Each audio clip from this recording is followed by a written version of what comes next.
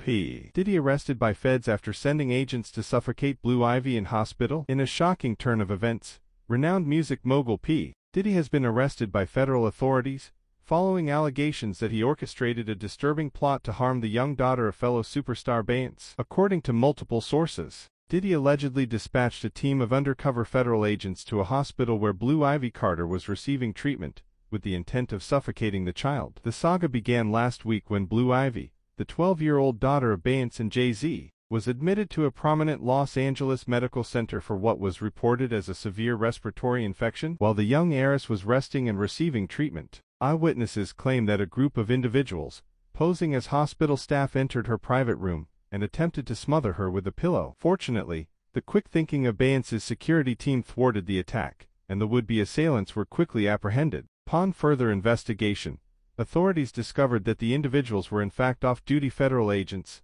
leading them straight to the doorstep of P. Diddy's lavish estate. This is a truly horrific and baffling situation, said FBI Special Agent Samantha Hernandez who is leading the investigation. We have compelling evidence that Mr. Combs, P. Diddy's birth name, orchestrated this entire scheme in an attempt to cause harm to a young, innocent child. It's a level of depravity that is almost unfathomable. Mr. Combs is absolutely devastated by these false and defamatory accusations, said Diddy's attorney, Jonathan Abrams. He had nothing to do with this incident and is cooperating fully with the authorities. We are confident that when all the facts come to light, Mr. Combs will be exonerated and the true perpetrators will be brought to justice. However, the evidence against Diddy appears to be mounting, with authorities claiming to have intercepted phone records and electronic communications that implicate the music mogul in the plot. Additionally, the federal agents involved in the incident have reportedly agreed to testify against Diddy in exchange for reduced sentences. The fallout from this scandal has been swift and severe,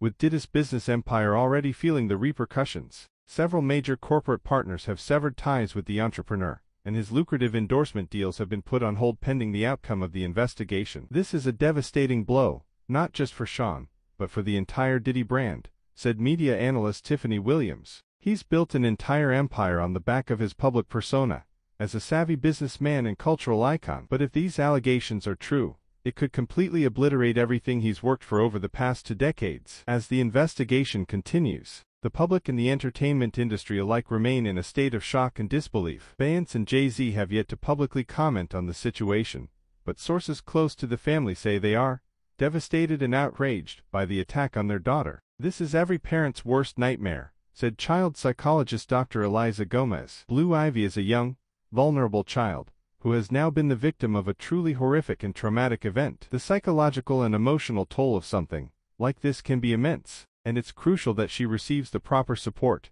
and care to help her recover. In the meantime, Diddy remains in federal custody, awaiting his day in court. The outcome of this case will undoubtedly have far-reaching implications, not just for the music mogul's career and legacy, but for the very fabric of the entertainment industry itself. Be sure to subscribe to our channel for the latest updates on this developing story, and share this article with your friends and fellow music fans. Together, we can help bring the truth to light and ensure that justice is served.